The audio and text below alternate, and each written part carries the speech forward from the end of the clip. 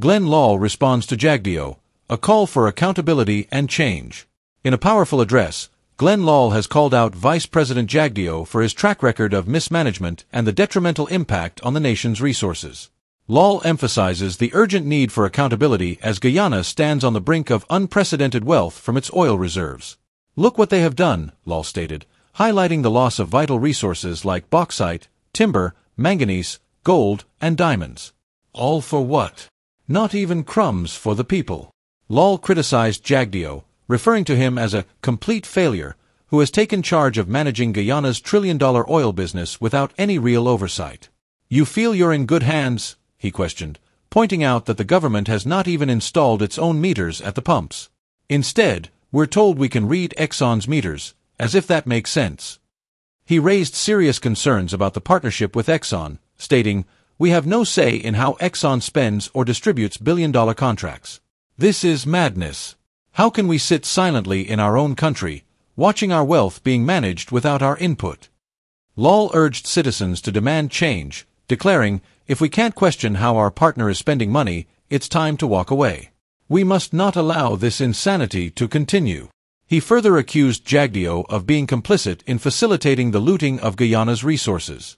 If you were truly uncomfortable with the contracts signed by the previous administration, why haven't you made any changes? Lall challenged Jagdeo. Not a single adjustment has been made to rectify the glaring issues in our resource management.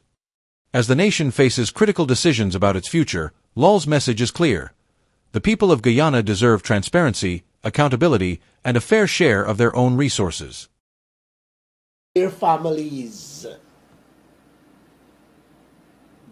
the generations to come for them. Look what they have done.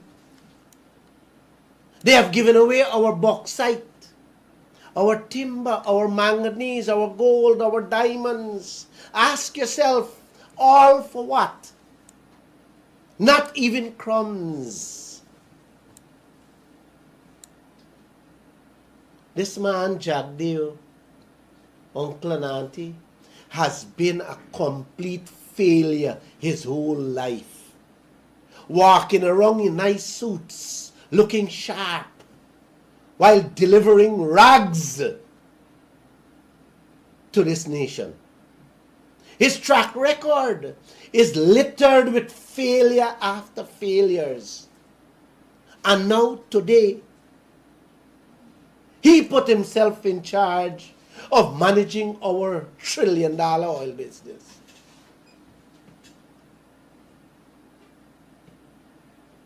you feel you in good hands there? Huh? Not even putting our own meters at the pumps. Then he got the nerve to tell the nation, oh, we can read Exxon meters. Like that makes sense. He out there telling us that Guyana has no say in how Exxon spends or hands out billion dollar contracts to their friends and families. And we are in a 50 50 partnership business.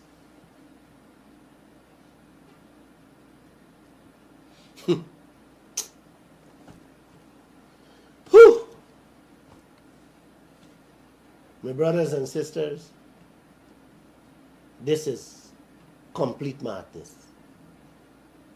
I don't know how long you people will take it.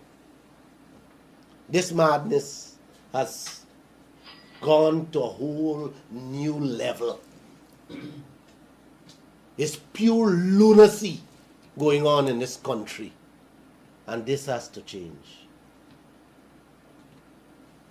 Guys, when you in a business and you don't even have a say in how half of it running it's time you call it quits. If you can't even question how your partner spending the money in the business, then just tell them to take everything and go, man.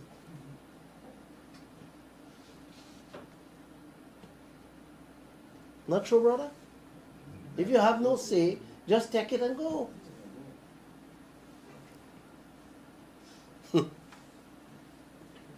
How can we sit silent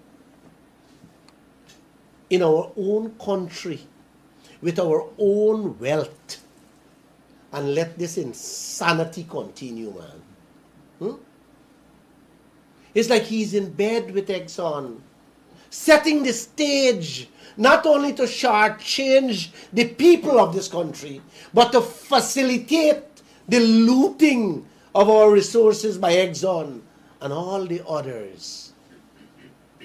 Uncle, if this man was really uncomfortable with that contract the PNC signed, why no changes to the Stabroek block? Eh? Not a single adjustment. Not even the most obvious wrongs. This man is making a move to correct.